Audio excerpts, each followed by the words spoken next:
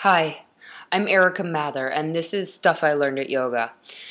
And today's entry is about the difference between embodied knowledge and intellectualized knowledge.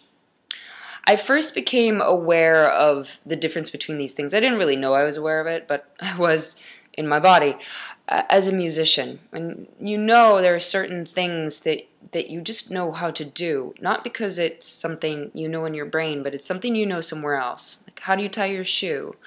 How do you play a musical instrument? How do you walk, for that matter?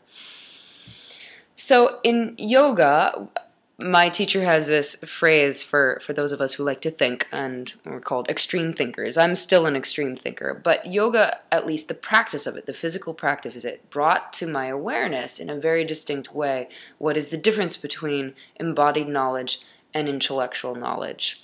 There are certain things that you just can't think your way through there are certain things that you can't feel your way through. So both things are, are worthwhile to cultivate. The way that you begin to learn how to feel and to understand what it is that you know by feeling is through the practice of yoga.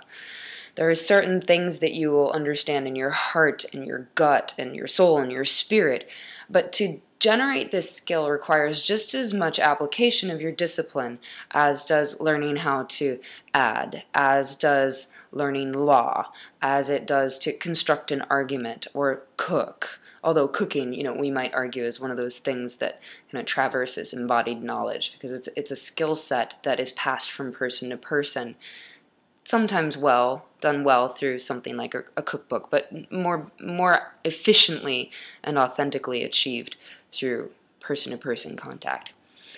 Anyway, find out what things you know through embodied knowledge and what things you know through intellectual knowledge, and figure out which piece, which skill set works well in what situations.